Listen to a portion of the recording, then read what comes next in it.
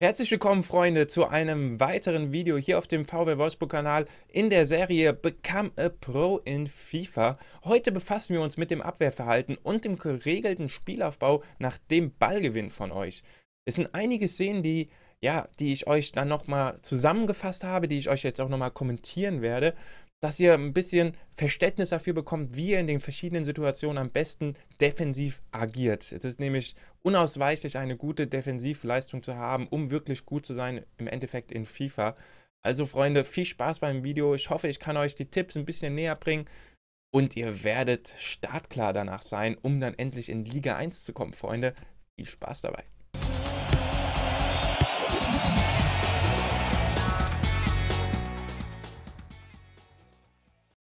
So, da haben wir jetzt auch schon die erste Szene, die brenzlig werden könnte. Renato Sanchez hat hier den Ball und ich habe den Innenverteidiger angewählt. Normalerweise würde jetzt die meisten Spieler von euch aktiv drauflaufen, um dir Renato Sanchez den Ball abzunehmen. Das Schlimme ist, wenn du in dieser Situation mit dem Innenverteidiger aktiv auf den Sechser bzw. auf den offensiven Zehner vom Gegner draufläufst, entsteht hier eine riesige Lücke. Im Prinzip ist der Spieler dann weg. Wenn dann ein Lewandowski da rein startet und ein Steilpass gespielt wird, ist er halt einfach weg und es passiert meistens ein Tor. Ihr solltet in so einer Situation einfach euren Innenverteidiger, Außenverteidiger anwählen, relativ kompakt nach hinten laufen und dann warten, bis eure Sechser, die normalerweise vom CPU so gesteuert werden, nach hinten laufen und diesem Spieler unter Druck setzen. Das äh, habe ich nämlich jetzt auch hier in der Situation gemacht. Wir starten mal das Spiel, machen etwas langsamer. Ihr seht, ich habe jetzt den Außenverteidiger angewählt, um oben den Passweg zuzustellen. Jetzt kurz den Innenverteidiger und wieder den Außenverteidiger, dann habe ich den Ball und so erobert ihr den Ball. Und dann spielt ihr über Außen nach vorne zum Stürmer und könnt schnell wieder kontern. Eine weitere ganz bekannte Szene ist natürlich der Einwurf. Hier hat der stürmende Spieler gerade relativ wenig Anspielstationen. Es kommt aber jetzt ein Philipp Lahm und ein Renato Sanchez und ihr seht, ich habe momentan diesen Spieler angewählt, um den Raum hier abzudecken. Deswegen laufe ich mit diesem Mittelfeldspieler, das ist Gilavogi, in diesen Raum, versuche nämlich hier den Raum eng zu machen. Und sobald ich diese Gefahrenzone beseitigt habe im Prinzip, also sobald ich diese Zone hier abgedeckt habe mit Gilavogi, dann greife ich erst aktiv mit diesem Spieler hier davor und mit diesem Spieler hier davor die Passwege zu. Aber zuallererst ist es wichtig, Freunde, dass ihr hier gerade im Mittelfeld sehr, sehr kompakt seid. Dementsprechend solltet ihr auch gerade beim Einwurf nicht unbedingt aggressiv hier vorgehen, weil hätte ich jetzt diesen Spieler angewählt und wäre hier nach vorne gegangen, hätte der gegnerische ähm, Einwerfer, das ist glaube ich Robben, theoretisch den langen Ball hier in den Raum werfen können und dann wäre es hier wieder sehr gefährlich geworden. Also Freunde, immer erst den Raum zumachen und danach die beiden Stürmer bzw. die anderen Anspielstationen abdecken. Das seht ihr jetzt auch hier. Links wird automatisch abgedeckt, rechts habe ich wieder abgedeckt, bin jetzt davor. Der Raum ist offen, ich gehe wieder schnell nach links, um den Raum zuzumachen. Und so erobert ihr dann auch den Ball.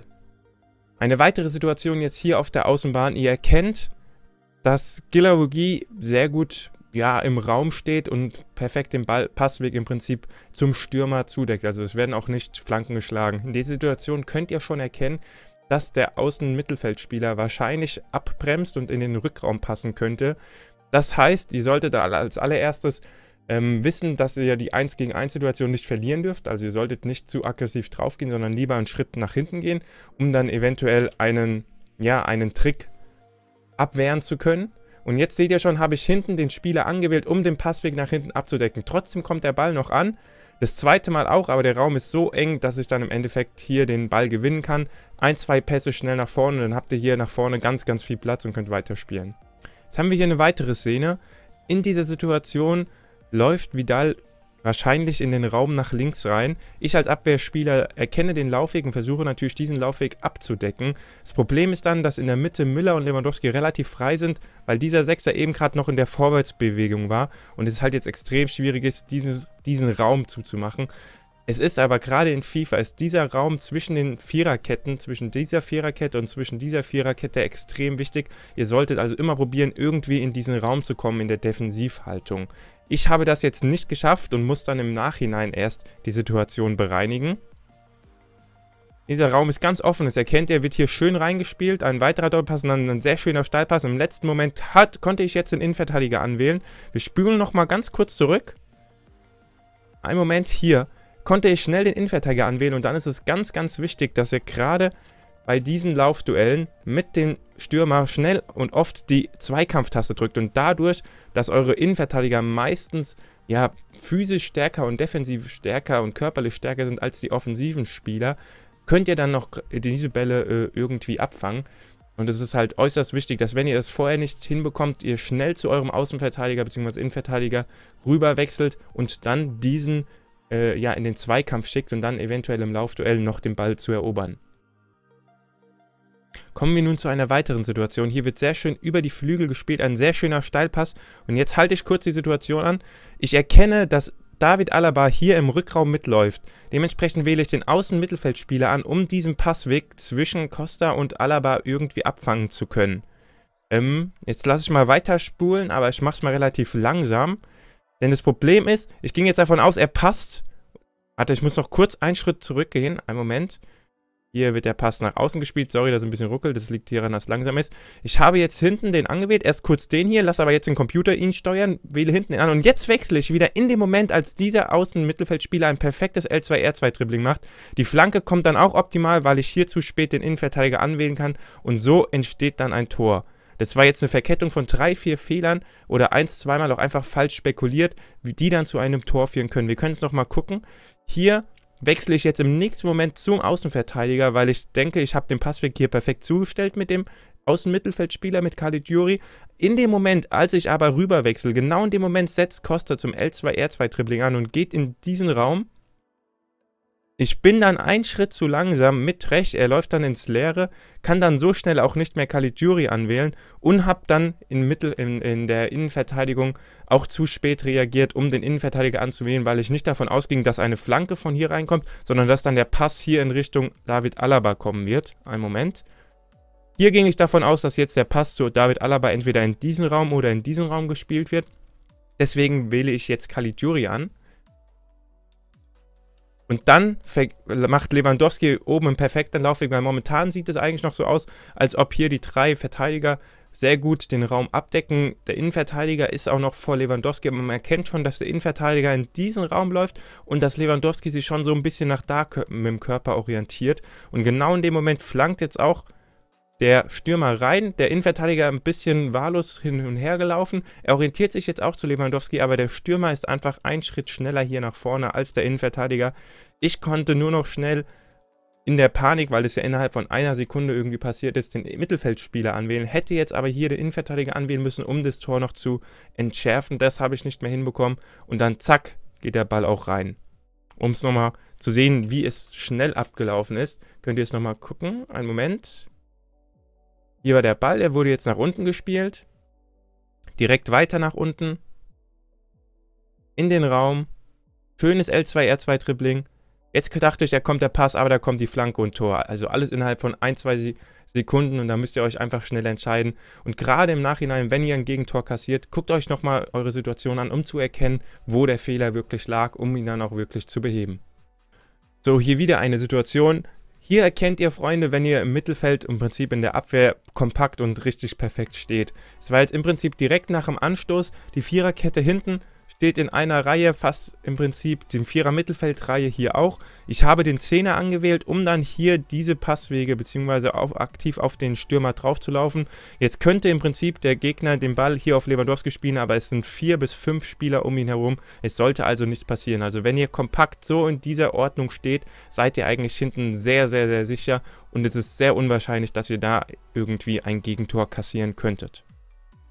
Erneut seht ihr hier die kompakte Defensive, alles relativ eng und im richtigen Moment Timing draufgehen. Ihr könnt dann ein, zwei Mal nach vorne spielen und habt dann wieder einen Platz nach vorne über die Außen und so weiter und so fort. Also wenn ihr hinten so gut kompakt steht, dann ist es extrem schwierig für den Gegner durchzukommen. Ihr könnt dann hier über Außen kombinieren, ein, zwei schöne Pässe und dann den Abschluss und fast so ein Kontertor erzielen. Nächste Situation, ich war etwas aufgerückt. Man sieht, die Mittel meine Abwehrreihe ist ungefähr an der Mittellinie ich erkenne, dass ähm, der Ball jetzt gleich von Thomas Müller in den Raum gespielt wird. Ich ging davon aus, dass ein Steilpass, ein flacher Steilpass hier am Lewandowski vorbei in diesen Raum gespielt wird. Thomas Müller hat dafür die äh, Passwerte und auch die Klasse. Deswegen war ich in dieser Situation noch mit Gustavo unterwegs, weil ich erst aktiv Thomas Müller angreifen wollte. Erkenne aber genau in dieser Situation jetzt, ich, dieser Weg ist zu weit Ich muss meinen Innenverteidiger anwählen, um diesen Pass, der jetzt klar jeden Moment gespielt wird, ähm, vorbeugen zu können, beziehungsweise zu antizipieren und irgendwie abfangen zu können oder Lewandowski zu stören, dass er nicht richtig ins Laufen kommt. Dementsprechend wähle ich jetzt den Innenverteidiger an, antizipiere den Ball. Der Ball wird jetzt hochgespielt und nicht flach. Flach wäre er wahrscheinlich effektiver gewesen. Aber ich denke mal, dadurch, dass ich noch im richtigen Moment den Innenverteidiger angewählt habe, ist jetzt auch nichts weiteres mehr passiert und ich habe den Ball im Prinzip wieder erobert und in meinen eigenen Reihen. So, jetzt haben wir hier auch noch eine gute Szene. Man erkennt, dass mittlerweile drei, vier Spieler nach vorne laufen. Ich habe wieder den Innenverteidiger angewählt, weil ich den Sechser nicht angewählt bekommen habe in der Situation. Wenn ich aber jetzt zum Sechser wechseln würde, um mit Luis Gustavo oder Gilavogi nach hinten zu laufen, wäre jetzt wahrscheinlich zu spät, weil wenn ich den Sechser jetzt anwähle, ist dem Thomas Müller schon nach vorne gelaufen, Lewandowski, Renato Sanchez bietet sich hier unten im Raum an. Deswegen behalte ich den Innenverteidiger und versuche, wie vorhin, diesen Passweg oder den hohen Ball in den freien Raum, entweder den hohen Ball hierhin oder den flachen Passweg hier rein zuzustellen. Habe den Innenverteidiger, versuche jetzt hier ein bisschen den Raum eng zu machen. Als ich dann jetzt gleich sehe, einen Moment. Ich erkenne jetzt gleich, dass der Ball zu Lewandowski nicht gespielt wird. Und wähle jetzt den anderen Innenverteidiger an, um aktiv drauf zu laufen und erober den Ball. Das ist sehr, sehr wichtig. Wir spulen nochmal kurz zurück.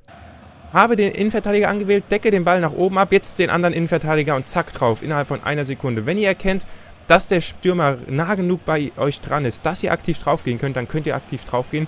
Jetzt hier ein, zwei Doppelpässe nach außen, bin außen in einer guten Gelegenheit, passt zurück in den Rückraum, nochmal rüber zu Gomez und fast das 2 zu 1. So Freunde, das war jetzt das Abwehr-Tutorial. Ich hoffe, ich konnte euch das etwas näher bringen und ihr wendet die Tipps einfach mal bei eurem Spiel an. Das sind oftmals echt nur Kleinigkeiten, wie ihr irgendwie eure Mittelfeldspieler oder Abwehrspieler ja, positioniert oder im richtigen Moment drauf geht, die aber im Endeffekt wirklich entscheidend sind. Man sagt nicht ohne Grund, dass man Turniere und äh, Meisterschaften mit der Defensive gewinnt. Das ist nämlich die oberste Devise und ich wünsche euch einfach jetzt sehr, sehr viel Erfolg mit den Tricks, mit den Tipps wünsche euch, dass ihr in die Liga 1 kommt und dass ihr irgendwann selber mal Profis sein könnt. Es werden noch weitere Videos folgen, die ihr dann auch ein bisschen noch, ja, das Offensivspiel und auch noch Tricks und generell Freistöße und Standardsituationen äh, behandeln. Aber das war es jetzt für heute von mir, Freunde. Viel Spaß mit dem, ja, mit den weiteren Videos. Ich wünsche euch allen noch einen guten Tag. Das war's von mir, euer Salzor. Ciao, ciao, ciao, Freunde.